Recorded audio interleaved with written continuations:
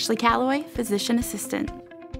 I like being a physician assistant because I am able to have that personal relationship and provide the medical skills and knowledge that I have and give it to patients and provide it, but still have that relationship with a physician who has a little more experience, a little more knowledge, and we have that collaboration.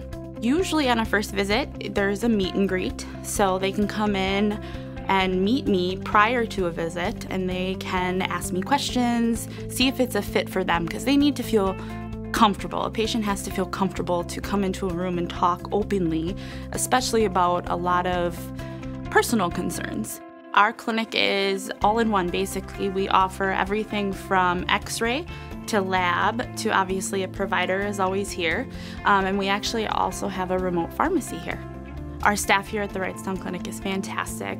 A lot of them have been here for a very long time. Some of them actually opened the clinic and they all know the patients and the patients all know them. I tend to be Uh, in the middle when working with patients. I find that at the end of the day, it's my job as a provider to provide you basically with the information and knowledge that may not necessarily come to you firsthand, but to help you make the right decision for your own health. I can't be there with you every moment of the day. Make sure you make take your medications, make sure you make the right food choices, but by having a discussion with you and helping and guiding you to making those decisions, I find that we have a much better relationship and that you're more likely as a patient to feel like you're having control of your own health, your own destiny.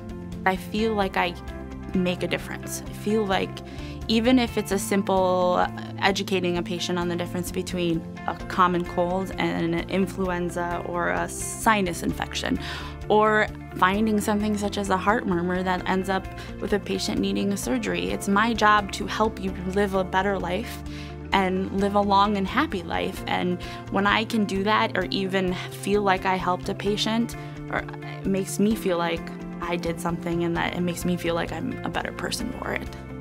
I like the personal side of medicine. I like the, the conversation with patients. I like having the time to spend and talk to patients and see them, uh, you know, not necessarily on a routine basis, but see them and watch them grow and, you know, develop and stay healthy.